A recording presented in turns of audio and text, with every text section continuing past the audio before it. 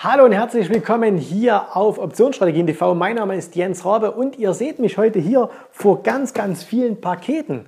Und äh, was es mit den Paketen auf sich hat und was ich beim Zusammenpacken dieser äh, Pakete für das Trading gelernt habe, darum geht es im heutigen Video.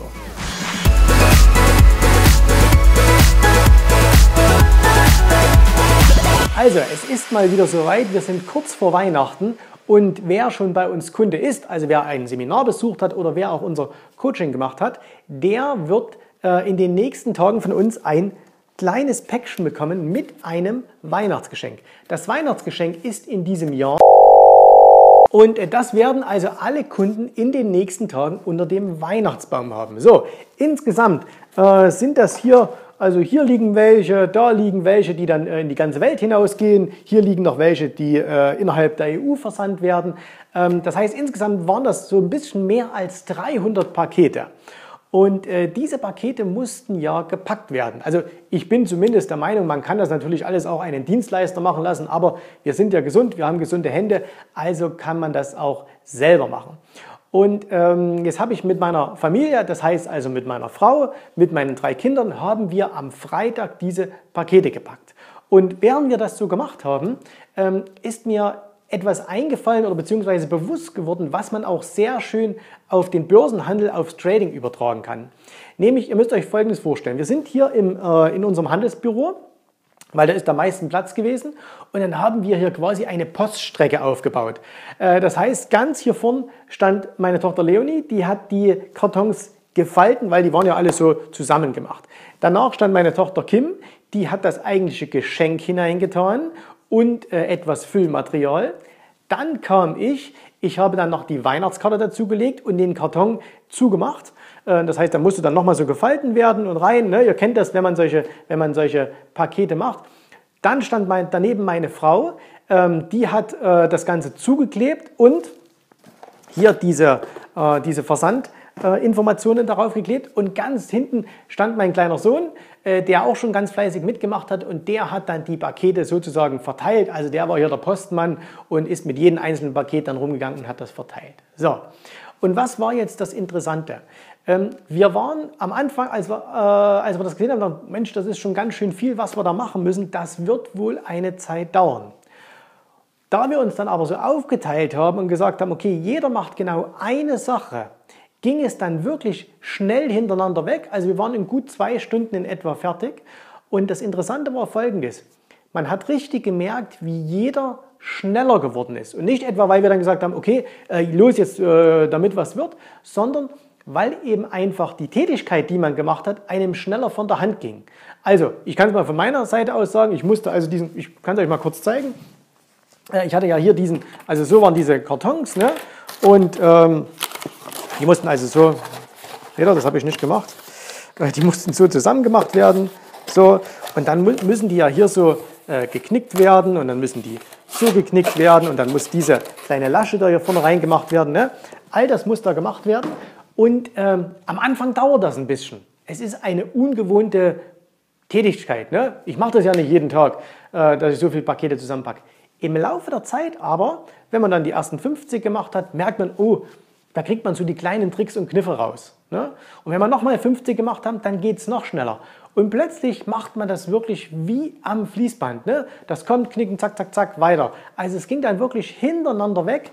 Und ähm, das ist also etwas, was man ja sehr, sehr häufig beobachten kann, dass manche Menschen in bestimmten Dingen eine enorme ähm, Fingerfertigkeit haben. Ihr kennt vielleicht diese Videos hier auf YouTube, da gibt es Leute, die äh, innerhalb von, von Sekunden eine Mango schälen oder, oder eine Kokosnuss oder so ne? und denkt, Mensch, wie können denn die das machen? Und das hat wieder was mit, oder das können wir so eine gewisse Analogie auch aufs Trading beziehen. Nämlich, wenn wir Dinge zum allerersten Mal machen, dann fallen die uns schwer dann sind die ungewohnt, man kennt die Bewegungen noch nicht so. Man weiß natürlich, wie es geht. Ne? Also jeder weiß, wie so ein Karton zusammengefaltet wird. Das ist jetzt nicht so wahnsinnig kompliziert. Trotzdem dauert es noch ein bisschen. Dann ähm, klappt es mal irgendwann nicht, es geht nicht so richtig rein. Und im Trading ist das genau das Gleiche. Am Anfang fällt es uns schwer. Wir wissen zwar grundsätzlich, wie es funktioniert. Wir wissen, wie man eine Option findet. Wir wissen, wie man rollt.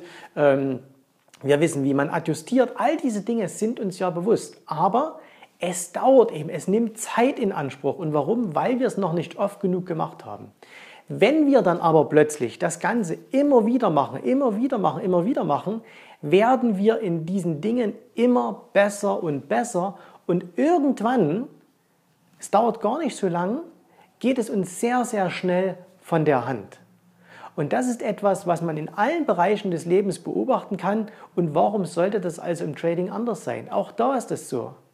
Jetzt machen allerdings die meisten Trading-Einsteiger einen entscheidenden Fehler, nämlich, um nochmal auf diese Analogie hier mit diesen Päckchen zu bekommen, die fangen an, die Pakete zu machen und sagen jetzt, jetzt mache ich mal 10 Stück Falten äh, und dann befülle ich 10 Stück und dann klebe ich 10 Stück zu und dann mache ich wieder das und dann mache ich wieder das. Das heißt, die werden in keiner dieser Sachen so richtig gut. Die springen also quasi hin und her. Ne? Heute mache ich mal diese Strategie, dann mache ich mal diese Strategie. Ach, jetzt adjustiere ich mal. Hm, hat nicht so super funktioniert. Adjustiere ich mal lieber nicht mehr, sondern kaufe bei 100% Verlust zurück oder bei 200 bei Aktienoptionen. Ach, jetzt handle ich mal Future-Optionen, weil das ist ja viel besser als Aktien. Ah, funktioniert gerade mal nicht, mache ich lieber wieder Aktienoptionen. Das heißt, die springen immer zwischen den verschiedenen Arbeitsstellen oder Arbeitsgruppen sozusagen hin und her und werden dadurch nie richtig gut in dem, was sie tun. Hingegen, wenn die einer kommt, relativ neu ist, dieselbe Ausgangslage hat und der sagt jetzt so, jetzt konzentriere ich mich auf eine Sache. Zum Beispiel, ich bin Einsteiger, mein Konto ist noch nicht so groß und ich möchte jetzt beispielsweise beginnen mit äh, dem, dem Optionshandel und guck mir eben an, okay, was kannst du da machen? Bietet sich vielleicht am Anfang an der Handel mit Aktienoptionen, Short Puts oder sonst irgendwas. Ne? Und jetzt sagt er sich, so, und jetzt bleibe ich dabei.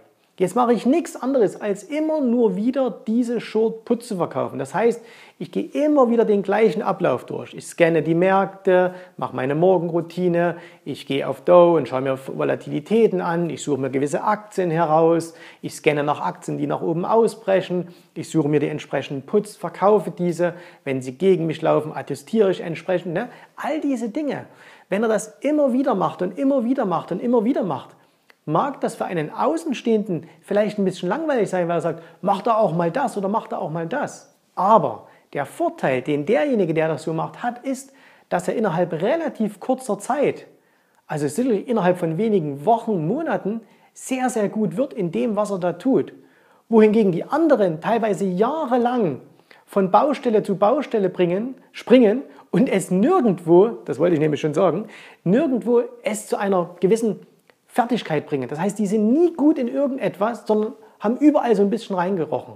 Und das ist so ein Punkt, den ihr ganz wichtig beim Trading beachten müsst. Egal, was man da macht, egal, ob man jetzt Optionen handelt oder ob man äh, Aktien handelt, Swing Trading, kurzfristig, wie auch immer. Man muss gerade als Einsteiger eine Sache machen und die sehr, sehr konsequent und immer wieder und immer wieder und immer wieder, weil dann lernt man die kleinen Tricks und Kniffe, die einem das Leben leicht machen. Es ist vielleicht dieses, im Training kann man sagen, dieses Bauchgefühl, was sich dann so entwickelt. Ne? Ah, hier adjustierst du mal ein bisschen eher, hm, hier machst du es mal ein bisschen später, hier wartest du mal einen Tag. Ne? Und ähm, das sind so die Dinge, die können sich nur über Erfahrung entwickeln, aber Erfahrung, das heißt erfahren, das heißt, man muss es auch selber tun. Das kannst du nicht von mir lernen, das kannst du nicht in Büchern lesen, das kannst du nicht in Seminaren lernen. Man muss es selber tun und zwar konsequent. Und wer das macht, äh, der hat natürlich dann auch gute Chancen, richtig gut in dem zu werden, ähm, was er da gerade tut. Ich weiß also jetzt, äh, sollte es mit dem Trading nicht mehr funktionieren. Ich denke, bei Amazon kriege ich noch einen Job, kann ich dann am Tag 5000 Pakete verpacken. Aber naja, gut, ich glaube, ich bleibe dann doch eher beim Trading, weil das funktioniert dann doch wesentlich besser und ich glaube, ist auch deutlich besser bezahlt. In diesem Sinne wünsche ich euch allen schon mal eine schöne Vorweihnachtszeit, immer noch. Ähm, viel Erfolg im Handel. Ihr könnt mir übrigens gerne mal in die Kommentare schreiben, was habt ihr denn so für Erfahrungen gemacht? Gibt es Tätigkeiten in eurem Trading, wo ihr gesagt habt, da bleibe ich jetzt mal dran und die dann plötzlich wie von selbst liefen, weil es einfach so konsequent gemacht hat? Oder seid ihr auch eher die, die immer hin und her gesprungen sind oder vielleicht sogar jetzt aktuell immer noch hin und her springen? Wir sehen uns wieder im nächsten Video und alle äh, Kunden, wie gesagt, Coaching, Seminar, ne, die können gespannt sein, was wird denn wohl hier in diesem kleinen Paket sein, was ihr demnächst bei euch zu Hause habt. In diesem Sinne, wir sehen uns wieder im nächsten Video. Euch bis dahin alles Gute, Servus, macht's gut, bye bye.